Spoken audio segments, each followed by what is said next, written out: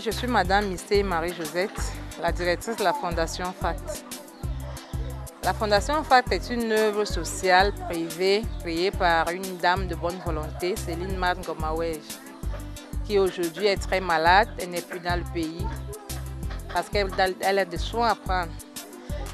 Nous, nous essayons d'aller de l'avant avec euh, son œuvre. Euh, la Fondation FACT est créée en 89. On a eu l'accord de principe en 89. Céline Marthe, comme je vous disais. Madame Yves Céline Marthe a eu l'accord de principe en 89.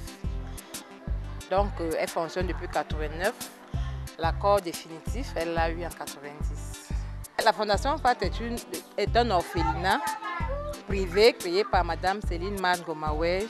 Nous travaillons en collaboration avec le MINAS, ministère des Affaires sociales, qui place des enfants ici, qui sont les enfants maltraités, euh, abandonnés, violentés, pour un placement provisoire en attendant l'enquête. Bon, il peut arriver qu'ils retrouvent facilement la famille ou pas. Mais notre cible nous-mêmes, c'est les orphelins. Donc vous allez trouver dans nos centres des orphelins euh, pleins et puis des orphelins d'un parent. Ce sont ces enfants-là que, vous allez, que vous allez trouver ici. Tous nos enfants sont scolarisés, ils vont à l'école à l'extérieur. Nous sommes une famille chrétienne. On essaye euh, de faire ce que le bon Dieu nous donne la force de faire. C'est un peu ça.